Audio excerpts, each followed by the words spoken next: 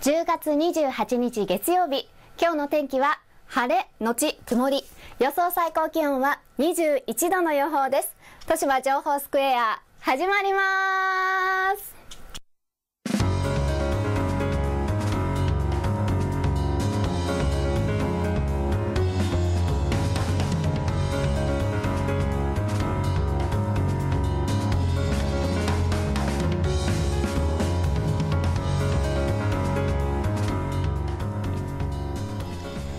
皆さんこんにちは田中美穂です。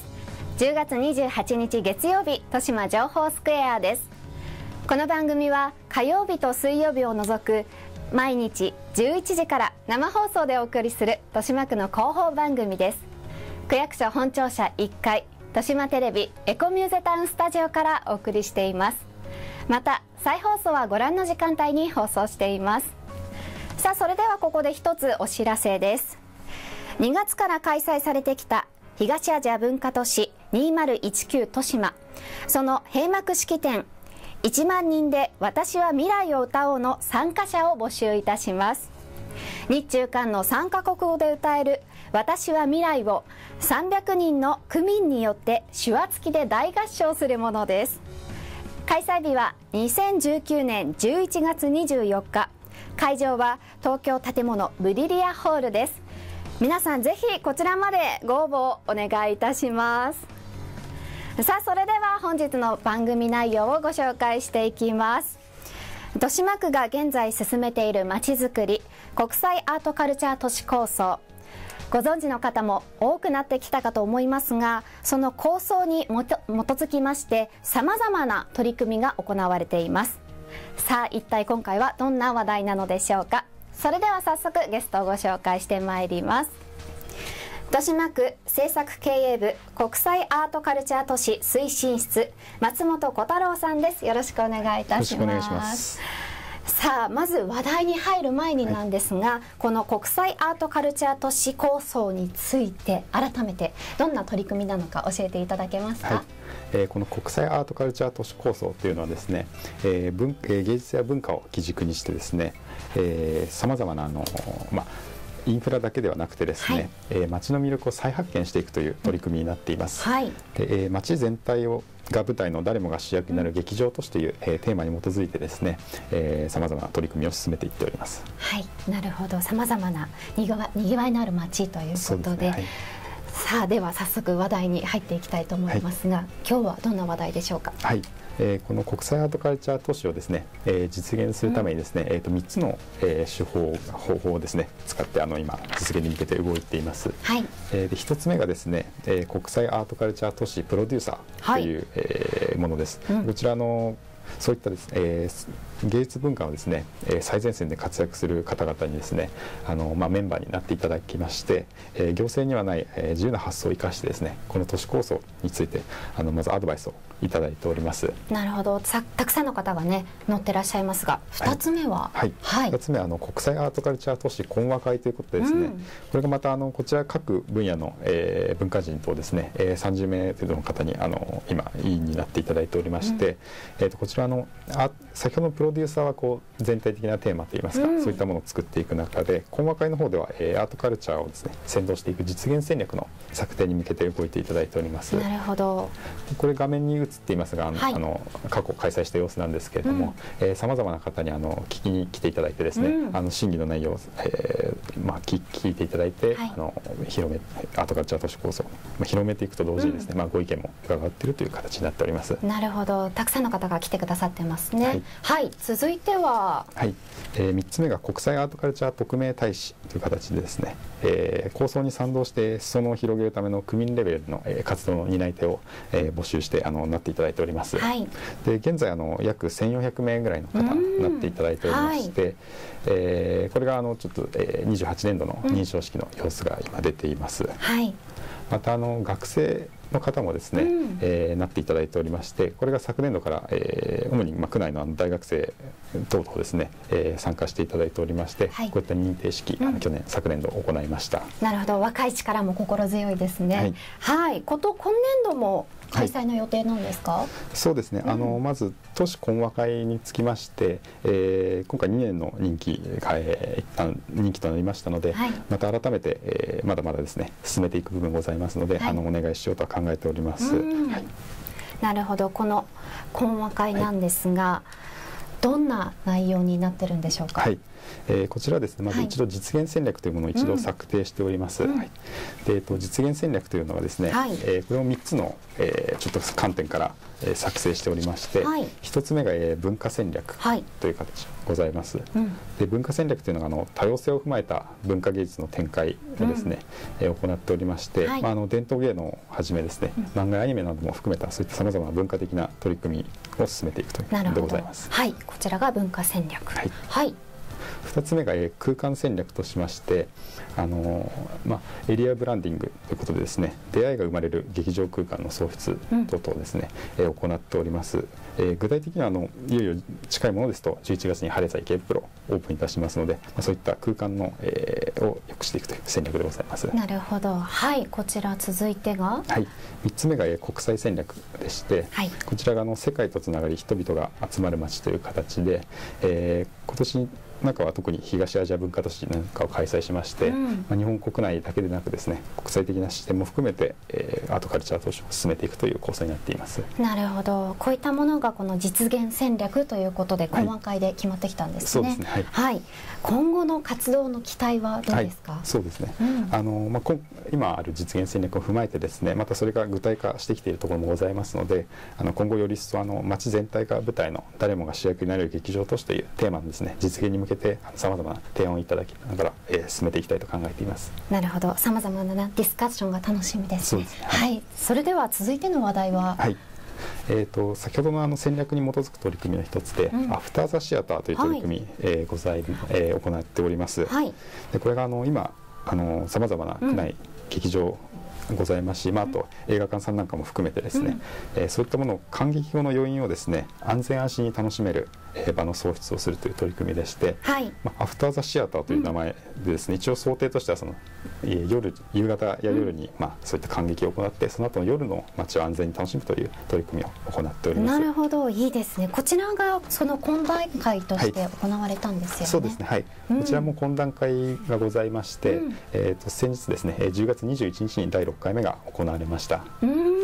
直近で行われたということなんですが、はい、どんな皆さんで構成されてるんですか、はいえーと、AT カーニー日本法人の、えー、会長さんをはじめですねさまざまな経済界の方であったりとか文化人、えー、タレントであったりだとか、うん、あのいろいろな視点の専門家の方からですね、はい、えー、構成していただいております。なるほど、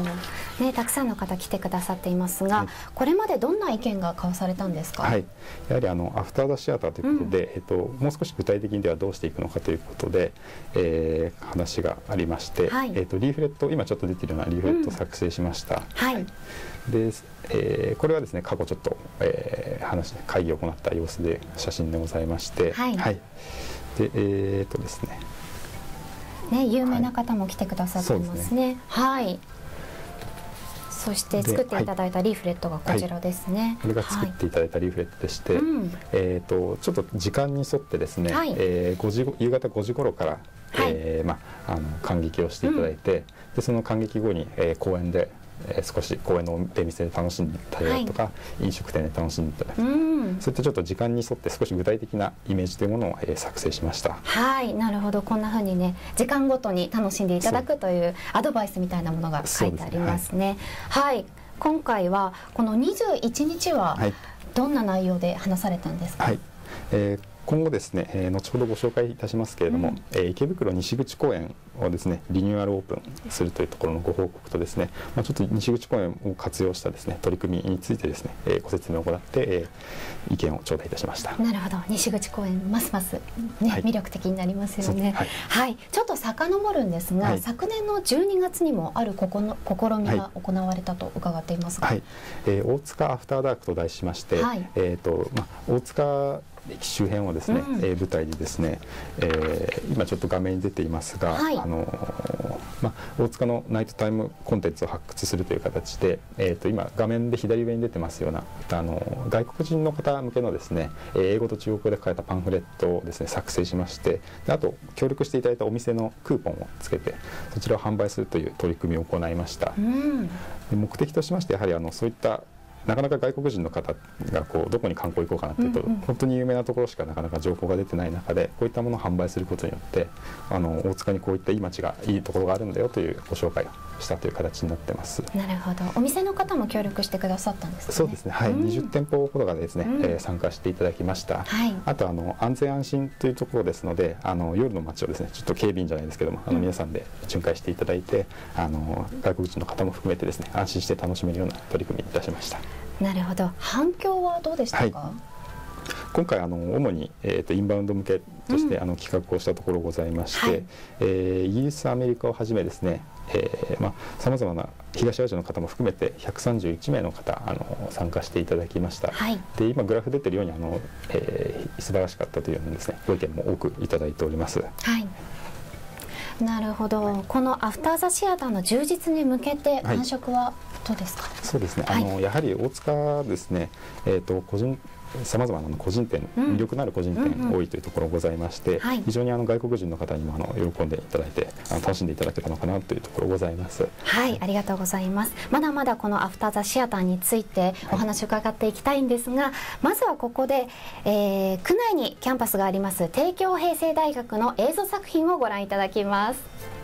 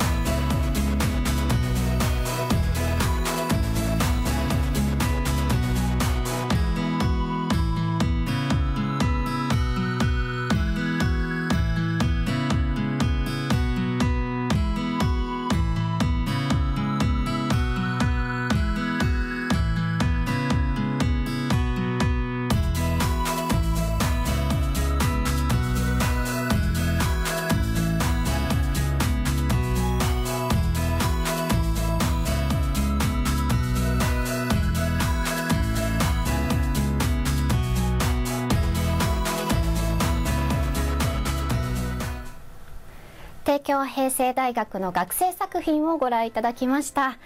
さあそれではここでもう一方ゲストをお迎えいたしましたのでご紹介してまいります。豊島区文化商工部文化観光課亀山剛さんです。よろしくお願いいたします。さあ亀山さん来ていただいたということで、はい、どんな話題でしょうか？はい、えー、ナイトライフ観光ということで、えー、今アフターザシアターのお話があったかと思うんですけれども、はい池袋西口公園を拠点にしてですね、池袋の夜の魅力をこうさらにこう伝えていこうという事業がスタートします。はい、なるほど。はい、すごいね。西口公園リニューアルされて綺麗になりますよね。はい、うん。はい、こちらナイトライフ観光ということで、どんな？はい。えっと、12月18日の水曜日の夜6時半から、はい、えー、オープニングのイベントをですねグローバルリングクラシックイーブニングと題しまして、はい。はい、えー、行っていきます、うん、えー、毎週、えー、1回ですねあのクラシック本格的なクラシック音楽を、えー、夜にこう鑑賞できるような、うん、えー、そういった場に、えー、することによってですね、はい、えー、池袋をですね、あの夜でえー、毎回、あの楽しんでいただくような機会を毎週提供していくような事業となっております。なるほど、はい、毎週ってすごい豪華ですね。そうですね。はい、であちらにもあるようにですね、うん、大型ビジョンもございますので、はい、えー、寒い時期ですとか、うん、大雨が降った場合はなかなかこう生演奏が難しいような状況もありますので、そういった時は映像コンサートを行ったりすることも想定しています。なるほど。この12月18日に行うということなんですが、どんなコンサートですか？はい、はい、えー、クラシックのコンサートになるんですけれども、うん、えー、まあ、豊島区管弦楽団をはじめですね、はい、あのー、あの中学生の、うん、えー、演奏者にも参加をしてもらいます、うん、でまた世界的にですね、えー、有名な指揮者にも登場していただきますので、うん、えー、こちらの発表は11月1日に、はい、えー、発表となりますので皆さんご期待いただければと思います。なるほど。楽しみですね。はい。こちらなんですがこの西口公園どんな風な公園に変わっていくんでしょうか？はい、はいえー、豊島区はですね国際アートカルチャー都市の実現のために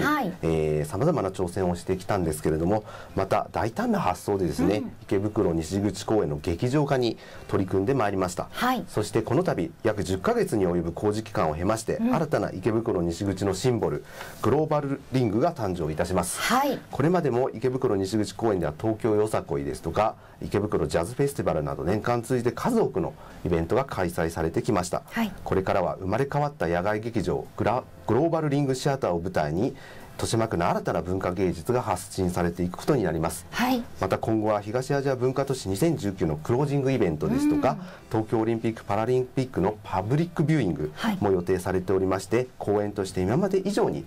さまざまな役割を、えー、果たしてまいります、今回新たに整備された GLOBAL RING CAFE もその一つになります。公園にいらっしゃった方の癒しの空間になるとともにですね観光案内も行います、うんえー、 Hareza の方にある豊島区民センターにはインフォメーションそしてこの池袋西口公園には GLOBAL CAFE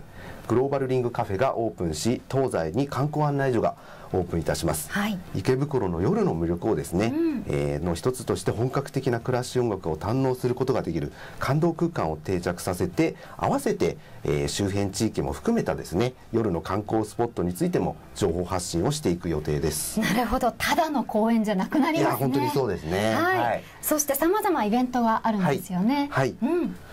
で、えー、16日の土曜日11月16日の土曜日になるんですけれども、はい、池袋西口公園の完成のお披露目会を開催いたします、えー、当日は東京消防庁の音楽隊警視庁の音楽隊陸上自衛隊第一音楽隊の豪華メンバーによります演奏が行われます。グローバルリングカフェのオープングランドオープンは11月25日の月曜日を予定しております。また11月23日の土曜日にはフランスをはじめ世界各国で好評を博しております。宮城聡さんの代表作「マハーバーラタ」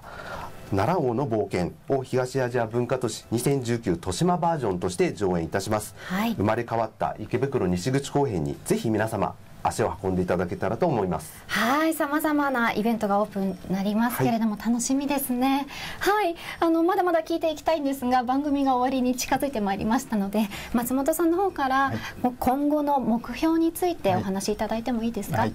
えー、11月からですねあの晴れ座をはじめ今ご紹介した公園などですねさまざまな目に見える形で、えー、施設がリニューアルオープンしていくというところございます。でまたですね今日ちょっとご紹介させていただいた、えー、ナイトタイムエコノミーという形でえーとまあ、西池袋西口公園をコアコンテンツとして区内全体に広げていく大塚を含めてですね全体に広げていくという新しい取り組みになってきますのであのぜひ皆さんあの応援とですねまたご参加いただければと思っております。はいより一層注目度が高まってまいりますが本日のゲストお二方どうもありがとうございます。はい豊島区政策経営部国際アートカルチャー都市推進室松本小太郎さん。豊島区文化商工部文化観光課亀山剛さんをお迎えいたしました。どうもありがとうございました。